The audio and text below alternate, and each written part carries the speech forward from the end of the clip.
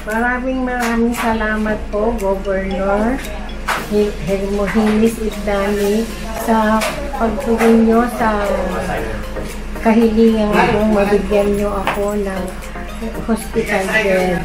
Maraming maraming salamat po sa sana makatulong ito sa akin sa paggaling sa bypass operation ko. Talaga makakatulong po ito sa akin. Maraming maraming salamat po sa inyo. Ang napakabait niyo po. At isang tawag lang po, ang dito na po yung hiniling ko. Maraming maraming salamat po.